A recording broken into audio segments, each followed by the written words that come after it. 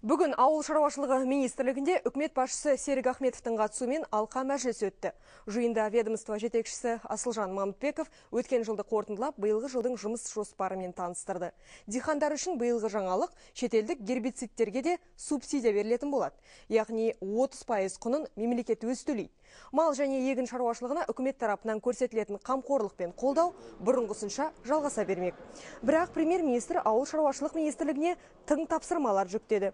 Атап айтқанда, еліміз бойынша әлі күнге дейін мал басының нақты санағы жүргізілмеген. Биыл қай облыста қанша бас мал бар екендігін нақтылау керек. Содан кейін қысы жазы көкөніспен қамтамасыз ету үшін қала маңдарынан жылыжайлар желісін салу керек. Оны салуды елбасы 2008 жыл тапсырған болатын. Содан бері оның көлемі 10 есеге дейін артты. Енді осы жобаны одан әрі дамытуымыз керек. Ал жалпы ауылдың күйін түсірмей, халықтың әл ауқатын арттыру үкіметтің жіті назарында болады дейді Ахметов. Ауыл алтын бесігіміз